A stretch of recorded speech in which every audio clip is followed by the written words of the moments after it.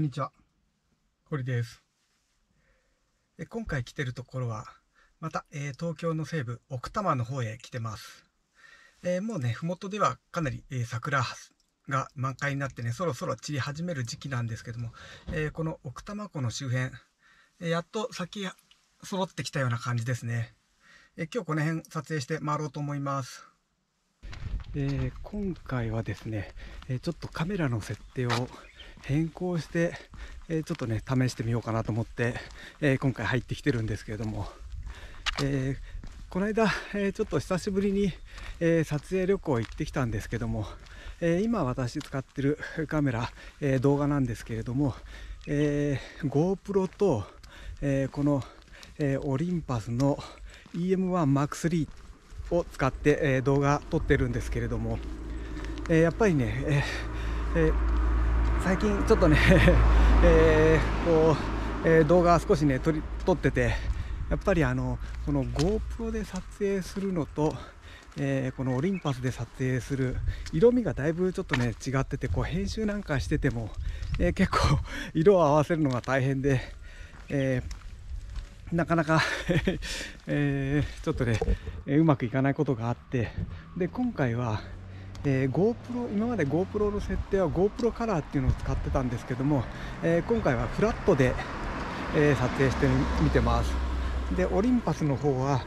えログっていう機能があるんで、えログ撮影をして後で、えカラーグレーディング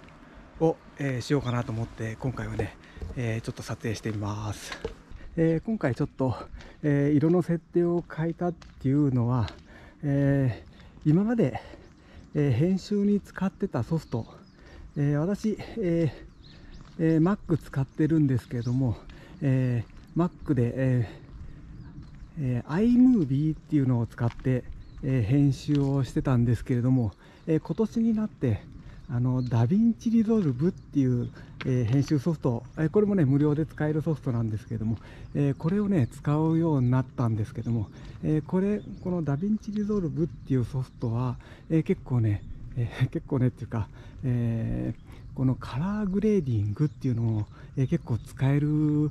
ソフトなので、えー、私はね、あんまり、えー、まだそんなに動画を撮影してそんなに間もないんですけれども、えー、この機能を少しね、いじってみると、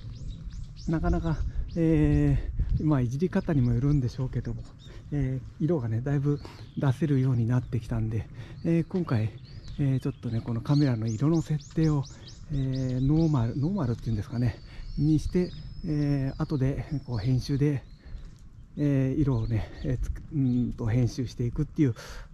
ことをねちょっとやってみようかなと思って今回は、えー、変えてみました、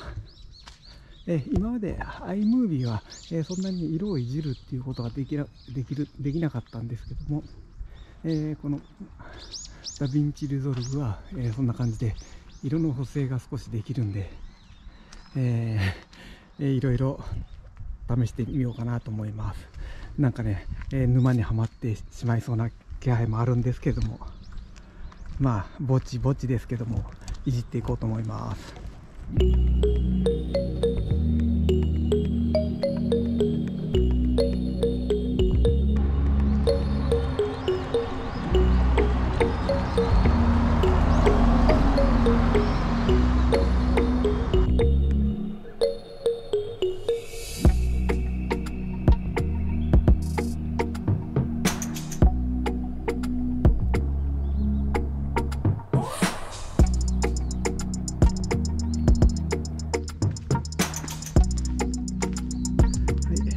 えー、今回もこの奥多摩湖畔ダム湖畔にある、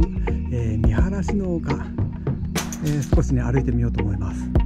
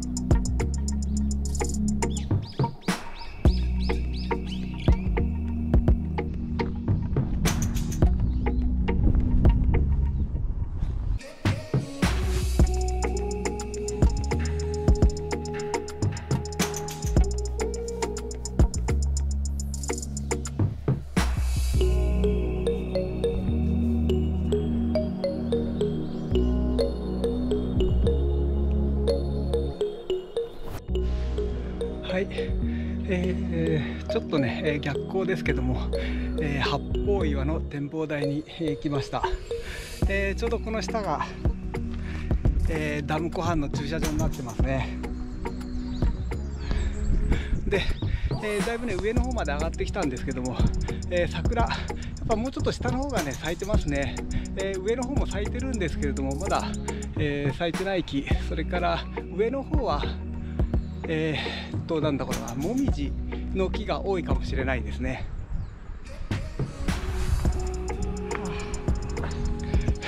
今そこで、えー、日本カモシカ1頭いましたね、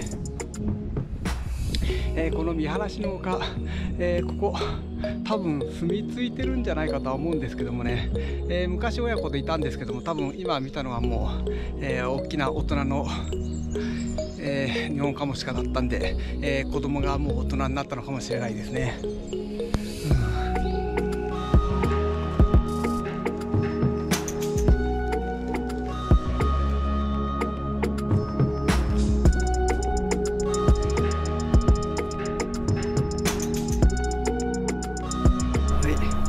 今カモシカの親子が、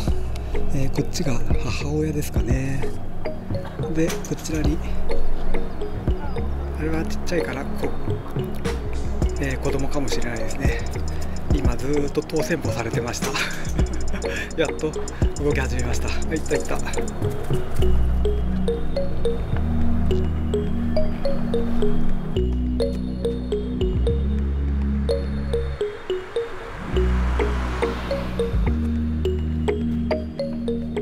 えー、そこのところにですね、えー、カモシカの親子が、えー、います。えー、今日はねこれで5頭目の、えー、個体ですね、えー、この時期こんなにやっぱり山から降りてくるんですね、え日本カモシカ、えー、天然記念物ですよね、えすごい。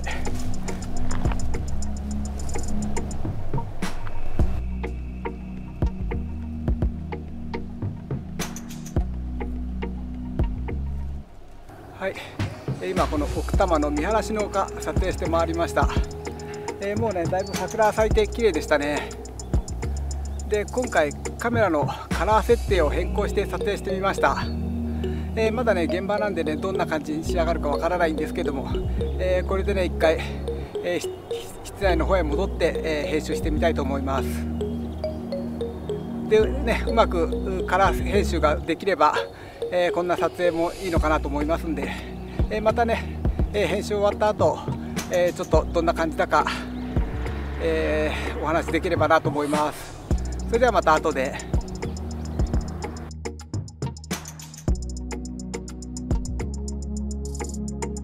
はい、えー、今ね、えー、家で編集してるんですけれども今これ、えー、映ってる画像。これはオリンパスの EM1M3 で撮った、えー、ログのデータになります。